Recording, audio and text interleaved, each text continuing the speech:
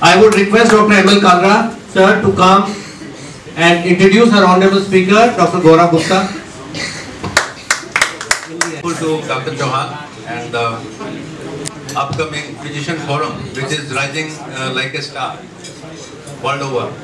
Sir, the speaker for the next topic, which I think should have been a separate topic, because there are so many unasked questions for the previous um, lecture. Anyway, the somatic. Psycho means brain or mind, and somatic means body. So, uh, anything which is produced or enhanced by the malfunctioning of the brain and presented anywhere in the body is psychosomatic disorder. To present this uh, lecture is uh, eminent psychologist and psychiatrist Dr. Gorav Gupta. I was very pleased to know that he is running a very, very affluent uh, rehabilitation center pleasure to be here and I see a lot of my seniors here. I'm from Maulana Azad and it's been 19 years and I'm experiencing and uh, why we combine this lecture with the Gen X lecture actually. So uh, I kind of started this Gen X lab with the idea we don't have a diagnostic medium in psychiatry and hopefully due course of time we will have some molecular testing where we can diagnose psychiatric disorder very. Like if you have a depression and you give your blood and we can diagnose it.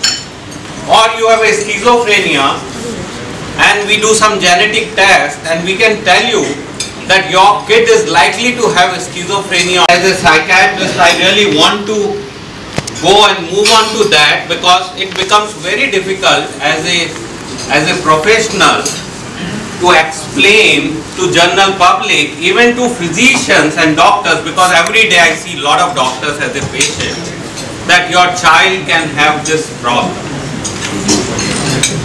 Uh, topic I choose psychosomatic is because of course this is a pharma sponsored lecture and we were not in a position to sponsor this lecture from Gen X Lab and that's why honestly I got involved into it speaking together and I know it should be a absolutely separate topic because I think you see much more patient of this than I see. I don't like seeing them. It's a pain in us. And if you are from Maulana Azad, we all used to have Jama Masjid syndrome in our OPD. if you remember those days. JMS. So, means all that was used to be that. Huh? Yes. So we used to say Jama Masjid syndrome. I don't know. Yeah. So it's quite popular. Definitely it's involved the body and mind and uh, so the, the situation is such that it becomes very difficult to differentiate that whether it's a physical disease versus what is the reason for this disease. Because your patient is in a big pain and you don't know you find a lot of time there are stresses. Like I received a call two hours back that okay there is this lady she is unable to walk. I know she has a depression she visited my clinic yesterday but there was no apparent feature now considering I am sitting in Delhi and there are all the facility, I said no, take him, take her to a corporate hospital, get her assessed. I don't know what is it. I know it's psychological problem, but I don't want to take chances. And it's interesting because we don't want to owe that responsibility that it can be psychological problem. We avoid that. We all the time want to avoid that psychological problem can lead to that she can't walk, she can't talk. Why? How you can identify? Lot of time there is a question we all keep hearing and keep listening and not able to answer. And I could find there few things which gives an indicator that, that there is something beyond normalcy and we find the symptoms are disproportionate. Lot of time we see panic attacks. Oh, sir, I am having heart attack. And a lot of time you are surprised if actually you won't believe means the doctors come. And I remember this, one of my very senior from the, one of the first few batches from Maulana Azad and this doctor come to my OPD and says, I think I am having it.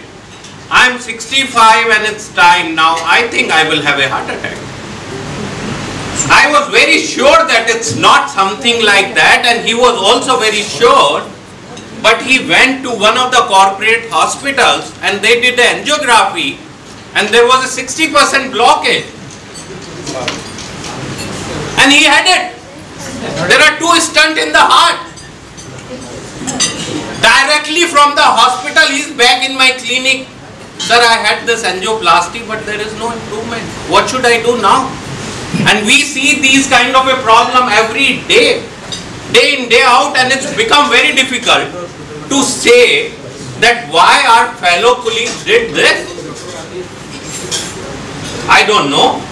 And lot of time as a psychiatrist, I feel we are maybe too much financially driven. But other time I feel maybe that is the only solution because we can't. So disproportionate symptoms.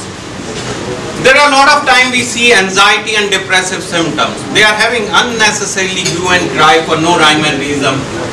Symptoms not explained by psychological or medical causes. There are symptoms which are so mixed. Now I give this this kind of a thing that which hand came first, I don't know. Whether the physical problem came first or the psychological problem came first. And all the time there is this kind of a misunderstanding. Dramatic presentation. We all are scared that this patient who has a hysteria will come to our clinic and we don't know how to solve it. If you have a nursing home, you add it. I was organized a conference in Goa on Sunday and there was a physician, there was a psychiatrist from Jammu and he says, head of the department of neurology is behind the bars. And what is the reason? Patient comes with the hysteria and the doctor was trying to give a deep chest pain. The patient complains, this doctor was trying to touch me inappropriately and he is behind the bar. Can you explain it why? Because he was trying to treat a conversion patient who was so anxious and that means it's a potential threat for all of us to have the similar kind of a situation. Concern for non-existent disease. We all go through this every day and night. What we are having? Go. I am having, I go motion three times. Doctor, hopefully it's not a cancer. We ourselves are so anxious. We were in first year of college and listening to our heart sound, we used to feel there are murmurs. And still we are the same actually. There is no difference. We are not able to differentiate that how to define a illness unless until we go, we will not go to one doctor, we will go to do five doctors and get reassurance, no we are safe. Definitely a person who is not from a medical background will also have the similar kind of insecurity. Now what are the common causes? Of course we all know. We are living in a city which is a mad. I am so happy that you all are sitting here and having a good time together and listening to what I am talking. If somebody tell me to do so, I probably will never. This is a crazy city. We have no time. I am from a small town. I don't visit my father once in a year. I have no time. I am so busy. I have no time for anything. There are conflicts. There are all the time we are perceiving the things which are not there. We have the lot of secondary gains. Oh yeah. I have not taken off. So today's example. There was this guy who is from Airtel. He says, my, my main service provider has said we can't work under pressure. You have defined that, okay, within 12 hours, all the complaint has to be handled. We can't deal with this. I'm sick and tired. I can't take any more. I'm having heart attack. He will switch off his phone and sleep. Now imagine his boss. Imagine his other boss. Oh, there are in Taj Hotel there are hundred TVs running and they all are off. Imagine the kind of a crisis. Our mobiles are off. It's a crisis. My wife's mobile broken yesterday. I'm telling her, why don't you buy a new one? Why you are waiting for 24 hours? You should have bought within an hour's time. We are living in such a life. There are a lot of traumas, identification issues, self-punishment, suggestions and all those kind of a thing. Now see the, the good thing or bad thing. Lot of time we know. But there is always a confusion. We cannot really diagnose it clearly. We can't say that, oh, this is a psychosomatic. This is conversion. This is a hysteria. Can any one of us say? Never. As a psychiatrist, I will rather say, no, no, it's not. You please go to a neurologist, you go to physician, get all your tests done and then come. We all want to save our skin. We know this. As a, as a physician, you all know their families, you know their background, you know their, all the perceptions. Definitely, it's a diagnosis of exclusion and we should be investigating them thoroughly before we say you need a shrink.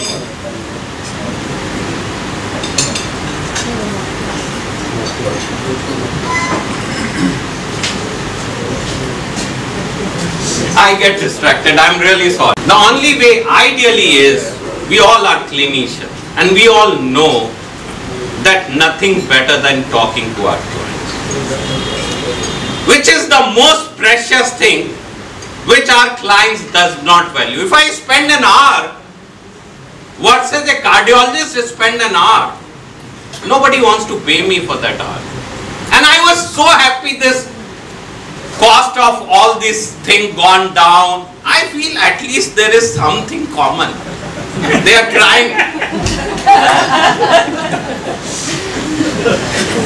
so I think the best thing is spending time. Now see, when I was in college days and when I was doing my MD, the most effective thing which I found was that giving them a short-acting benzodiazepine. See, the benzodiazepine is orally get very fast absorbed. You give a tablet of alprazolam or any of that and you will immediately see if it's a kind of a functional disorder, it will settle down versus organic disorder, there is no change. And I think that's a very easy way of diagnosing the thing. We all can follow that. Now, of course, the treatment is talk therapy. We have to make him ventilate about the pent up emotions, emotional issues, psychopharmacological. I don't know. When I was adding this word, I was really saying maybe I'm adding this for the pharma company or I'm adding it for the genuine reason. So there is a conflict. I will be honest and upfront. But definitely, as we all are busy practitioners, that is one of the ways of dealing. Anti-anxiety, antidepressant. Now the question is, we all use benzodiazepine, Alprax Rivotril. What is the role of that? Ideally, maybe transiently, yes. Ultimately, no. Again the medication because all of you are busy practitioner and I thought it would be worthwhile to mention few of them. We can use anything. I found excellent results with clomipramine and other SSRIs. Nowadays we don't use anti-anxiety medicines like benzodiazepines. We try avoiding that because they are very dependence producing and ultimately lead to lot of troubles. Definitely we are also using some antipsychotic medicines and quetiapine has an excellent result. I would say quetiapine is the drug which is going to be drug for anything and everything in the future. We can use it for depression, we can use it for anxiety, we can use it for insomnia. I think beta blockers has a very significant role in the whole this treatment. I think it's caution when to run. Because like I told you and I am honestly sharing you that I have said please take her to a hospital get a clearance. I told them two days back they got clearance but still I said because see you never know. Body is a complex organ. It's not that simple as we say and I think it's better sometimes they are very difficult to treat.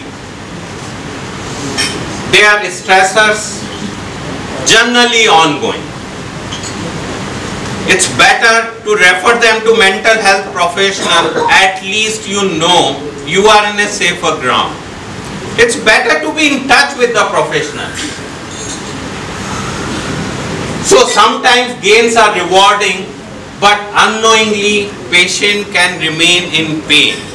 So if the patient is not improving, it's worthwhile. This become a crisis for professional and especially if we have a busy practice, we can't give time, I think. So that's all I have and I'm open for the question. Test which can predict a person who will go into depression and some psychological or psych psychic related problems. So how far it is correct? Uh, see, I was attending a conference organized by the BOF some few years back and they were talking, there was a senior uh, researcher and he was saying, how is this idea if at the birth we run a sample of a child and we know at what age he will have what disease. Maybe very soon we are heading for that. We are heading for genetic engineering. We are heading for all the testing. And I think that is the way ahead. I was uh, interacting with other colleagues in NIMHANS and they are doing a lot of research with functional MRI and genetic thing. Definitely at the moment we don't have specific genes. There are lot of focuses. But hopefully, we should be optimistic and gradually we will have the right answers for that. For the treatment purpose, I think these Babas, um, excluding Ram Rahim and all, they are, they are having a great role in treatment of uh, psychosomatic problems. Yeah, वो आपको कोई भसम दे देंगे और आप ठीक हो जाएंगे. I have seen practically many people improving, although maybe a placebo effect. And I, here I would ask you, sir, what is nocebo effect? See, we all know we are in a practice and we all know the placebo is the as effective as the treatment is. We cannot undermine ever the placebo. And I think there is something great about these fellow who are Babas. They have some great to work. As a physician, we all know our patients are our patients. What is our patient? Basically, they trust us. We have a bonding, we have a relationship. Even if we give a multivitamin tablet to our patients, they get better. Why? Because we are that Baba for them. We are the right kind of a person who can help them. So I think that Baba is existency. If somebody asks me why these Babas are there, I feel the mental health professionals are not there. That's why the Baba are the better mental health professionals. Because I can't see, I am tired of seeing the patient. If you ask me, means why I am here, not to promote myself. I don't want. I don't want to see more patients. I am sick and tired of them. I refuse them. I run a 90 bedded hospital, there are waiting lists. I don't know why. Means when I started my career, I never thought there is so much of need. But I feel everybody needs it. There are no trained professionals. At the moment, also for the common thing, the Baba are the most common solution and I think it's better to be let them filter out some of them at least. They are easily approachable. They are the most easily approachable Sir. and free of cost. Yeah. Dr. Gupta, you are a big brand and Sir, I've sir. been seeing you from 2001. Sir, my last question is, uh, there was a uh, mention of fast treatment. Treatment as a fast, fast as a treatment for psychosomatic. How good it is? Fast, fast as a therapy for uh, psychosomatic problems.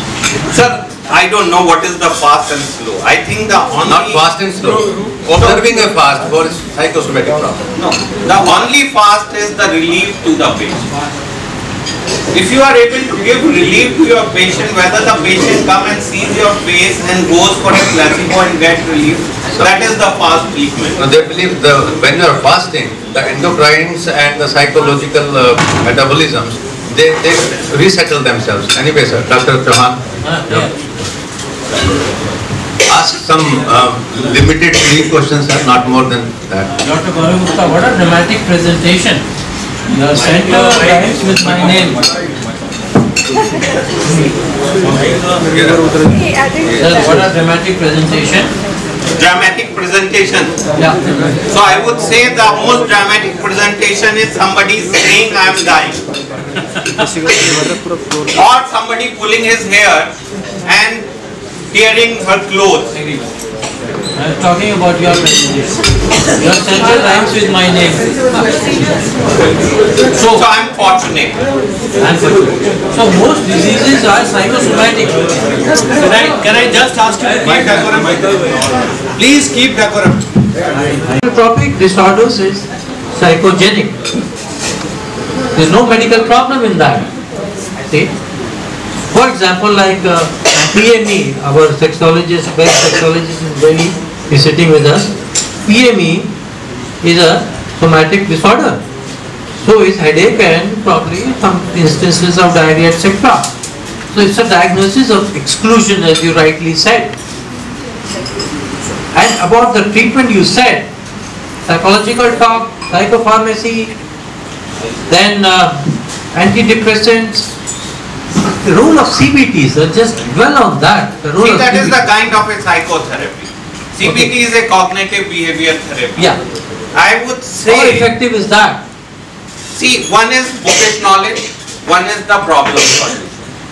I would say there are some fancy terms in the book written. What we believe is the problem solving is the best way and I think the ventilation is the best possible solution. Ventilation is when you are listening to somebody problem and giving them shoulder to cry. I think that is the most effective way. We are living in a world where we are seeing so many patients. Now if somebody, I, you come to me and I say, please go to CBT, you have to pay thousand rupees and you have to go twice a week. After 32 sessions, I don't, I'm not sure what would be the outcomes. I'm not sure whether you will go or not. Yeah. I would say the problem solution and immediate crisis intervention is what is the all the doctors work with. And I think that is the most effective and practical, especially at this forum. Dr. Kalla, would you like to dwell on that? Yes. Okay, Dr. John. And uh, it was a very short and sweet talk. I understood that they are as a result of our lifestyle and stress. So what is the role of lifestyle modifications in the entire syndrome of psychosomatic disorders? See, basically we are living in a, in a way that we are driven by so many factors. Now if you say I go for a walk and my lifestyle is fixed, actually it's not. So definitely I think somewhere we are reaching to a point where it's very difficult to fix our lifestyle. We can only do some tidbits to reduce the chances of having the problem. And we all should make an effort. We should go for a walk, we should have a healthy lifestyle, we should sleep on time, we should get up on time, have meals on time. And I think that might reduce. But see, now see the crisis. There are times you are trying your best. Contrary to that, you reach a point of crisis. Your child is unwell. You are in a crisis. Somebody dies. You loses something which is very precious for you. How the lifestyle is going to solve the problem at that time? So most of the time, what we are seeing is not the regular minimal disorders. We are seeing a crisis. And I think there the lifestyle will only come gradually. Sir, uh, my, my last question to you is, we heard of a term called reflex sympathetic distress syndrome. Is it a form of psychosomatic disorder? And is I, I can't answer that. the, the kind of cures that you mentioned, are the cure for RSDS? I'm, I'm not sure. I, I can give you a feedback, but I'm not sure. I don't know. I would, I would welcome some questions from the gathering. Dr. Kapoor? Well, sir, we, we, sir, we need to wind up. sir. We need to wind up. I'm from Pans. I've done my residency in psychiatry. Dr. Agnihotri and Dr. Chiluka. Okay. Now the thing is, by, by you know, sending the patient to say cardiology or some other factor, are we not, uh, you know, uh, spoiling our duty? I mean, people have come to us, we know they are not cardiac patients. We know they are not neuro patients. See, I'm not sure we are saving eyes, our skin first or we are saving our patient first. So- And I told you. We are ruining See, our- there are so many medical legal issues. Yeah. So if you have time, nothing like it. If you don't have time, then definitely take a help of other fellow physician who can give you expert advice. Sir, we, we need to wind up. No, sir, Pardon, sir? Why aren't you confident enough that it's a psychosomatic disorder? See, see the medicine is a evolving thing. I do very particular aspect of the psychiatry and I'm not sure, I'm not able to keep up to the development. I'm not sure how a, we can specialize and confident about anything and everything. Dr. Kapoor, Sir- sir- before, before CPA started in 87, I think this was not the approach. Yes, yes, very right. Bangla has a question, sir. no, uh, I have, uh, I'm just, I have to- I have few comments because I happen to work in a hospital where psychiatry was also associated. So at times there can be gross mistakes, as you said that the sixty percent and the angioplasty was done. I'll tell you my experiences. At times a young lady visits the hospital and is turned off as anxiety and she comes in the middle of the night and dies an hour later. Because nobody asked whether she was on contraceptive pills, she had pulmonary embolism. Second, a young, young patient who was in, on some psychiatric medicines, Great bedded institution. And we all, as we become more specialist, we become a tubular our We can't see anything else.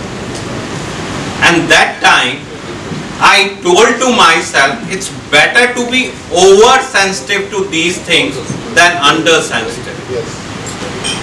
And in last three years, there was no death in my hospital. But definitely it costs some money to my patients. I don't care for that. I feel my peace of mind is equally important so I can work next day also. So it's, it's difficult. And I know hopefully I can solve all the problems at the least possible price. But that is a very idealistic approach. And we are living in a in a city where the idealism hardly works. If you are in trouble, you had it. I as usual, I would like to thank all of you to be